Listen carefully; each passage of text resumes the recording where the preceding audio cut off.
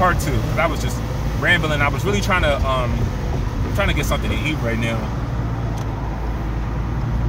But uh yeah, I was I was trying to uh get I missed my lane. I'm trying to get in this lane and I um shouldn't be making videos on your phone.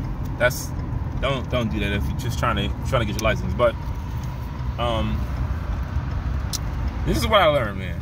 So working in Milwaukee, I, I always had the uh, conception, I always had the um, perception that Milwaukee was like mostly white, just Midwestern white people. But it's it's like a half and half, black and white.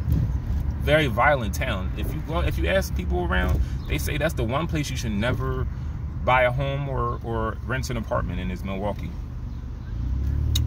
And I'm thinking about going to college there after I'm done this two-year program. Uh-uh. I don't know. I may try to get into something better. But um, but yeah, back to this video. So what I learned is I almost got it to like I don't want to say a fight at the restaurant in Milwaukee, but it was a it was a chef there. He just kept he was making a lot of uh he was making light of me um working a job.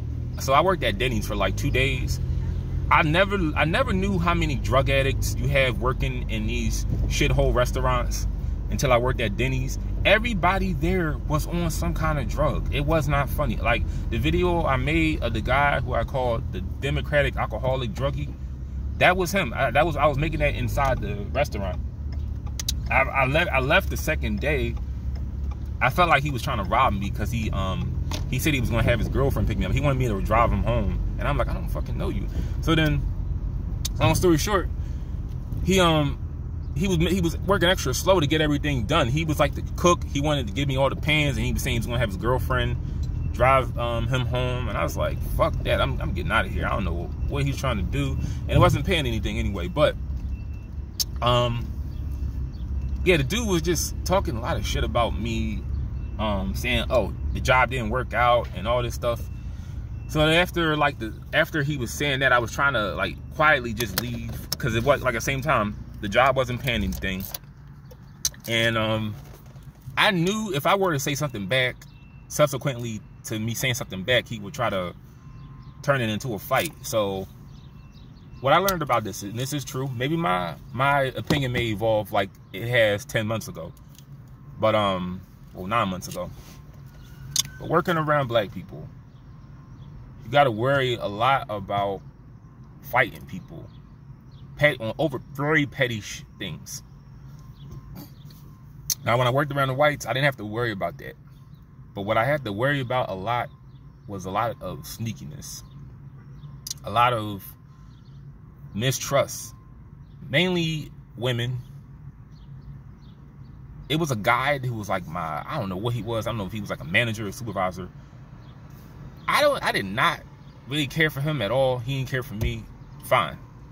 Maybe like the maybe like the third day. We were very we were on cordial terms like the first couple days, but I'm not going to make a, an attempt to to try to be friendly with you after like after it's very clear we don't we don't really care for one another. But one thing I respected about him, he was very blunt on how he felt, how he wanted things done.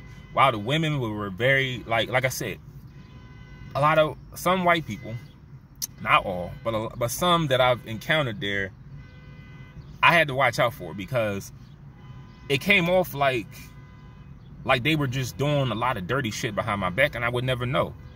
So this is why I say, and I told this to somebody um, the other day, I don't identify at this point with nobody because there is nothing in the black community, nothing at all, no jobs.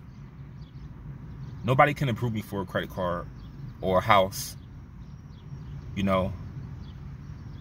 But at the same time, everything that I have comes from white people. But I learned that, and I had this perception before, like, I gotta understand that there are some that just may not particularly like me based on I'm not gonna say racism, but maybe something that happened to them by a black person and they're just taking it out on me perfectly fine.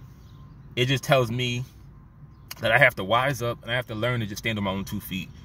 Don't make alliances with people. Don't make friends with anybody. Just be on your own and honor your family. That's what I learned.